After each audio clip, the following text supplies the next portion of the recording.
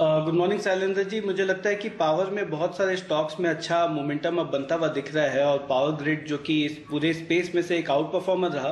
क्योंकि कंटिन्यूसली इसमें new highs हर कुछ दिनों में हम देख रहे हैं कि फॉर्म होता जा रहा है। तो मुझे लगता है बिल्कुल इस ब्रेकआउट को भी हमें खरीदना चाहिए। तो पावर ग्रिड पे खरीदारी के राय है। अंडरलाइंग मुझे लगता है कि 220 तक का प्राइस आता हुआ दिखेगा।